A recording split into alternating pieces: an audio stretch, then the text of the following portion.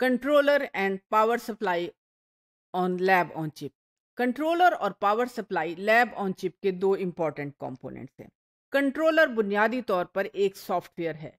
इसके मुख्तलिफ़ मॉड्यूल्स हैं। इन मॉड्यूल्स में micro controller communication interface programmable memory control circuits signal pre conditioning circuits और पावर इंटरफेस सर्किट्स शामिल हैं।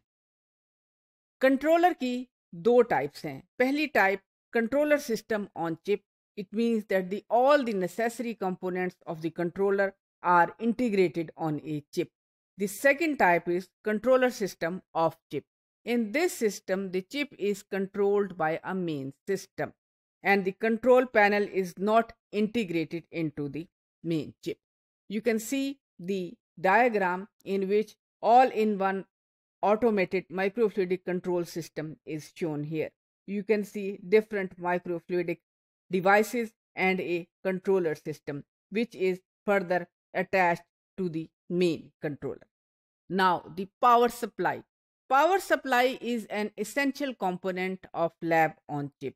यानी कि हमें लैब ऑन चिप को रन करने के लिए एनर्जी की या पावर की ज़रूरत होती है this power is provided by the battery source And this power energizes the circuits, transducer, actuator, and the electronic circuits of the lab on chip.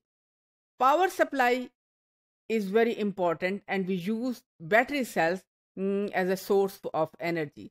Uh, जैसा कि आपने पिछले मॉड्यूल्स में पढ़ा कि लैब ऑन चिप टेक्नोलॉजी में हम बहुत एडवांस फ़ंक्शंस भी परफॉर्म कर सकते हैं इनमें पीसीआर टेक्नोलॉजी शामिल है And this technology required energy इस एनर्जी या हाई टेक इस इन हाई टेक टेक्निक्स को रन करने के लिए हमें कांस्टेंट एनर्जी की ज़रूरत होती है sometimes there are self containable and adjustable batteries are fixed in the lab on chip and they provide power to the system.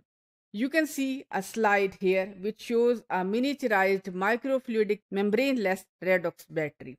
And this battery is use in a lab on chip system मुख्तलिफ़ किस्म की नई नई ईजादात होती रहती हैं and some and most of them are use in lab of chip system some are successful and some are not successful this is one of those device which has been recently introduced for integrating on lab on chip हमने अब तक बहुत सी diagnostic devices के मुतालिक पढ़ा है। लेकिन आप एक बात याद रखें कि इन डायग्नोस्टिक डिवाइसेस को रेगुलेट किया जाता है। वर्ल्ड हेल्थ ऑर्गेनाइजेशन की तरफ़ से एक प्रॉपर क्राइटेरिया दिया गया है। वो डायग्नोस्टिक डिवाइसेस जिनको लो कॉस्ट डायग्नोस्टिक डिवाइसेस कहा, कहा जाता है they should have a criteria which is known as assured assured mean A is for affordable यानी कि जिन लोगों के लिए ये बनाई जा रही है डिवाइस, वो उसको अफोर्ड कर सके, यानी कि गरीब तबका।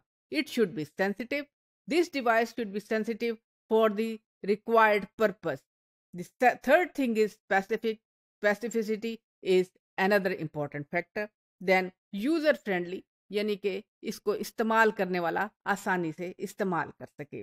Then rapid and robust, we should get the result within a limited time it should be equipment free अगर आप low cost device hand held device के मतलब बात कर रहे हैं it should work on its own and it should be deliverable to the end user यानी ऐसा ना हो कि आपने एक प्रोडक्ट बनाई, लेकिन जिन लोगों के लिए बनाई, ये प्रोडक्ट उन तक पहुँचे ही ना।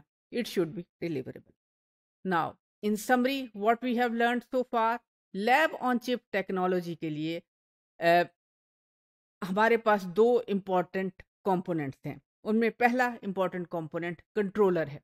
Controller is a software and it is controls the system or runs the whole system of the lab on chip under the controlled environment.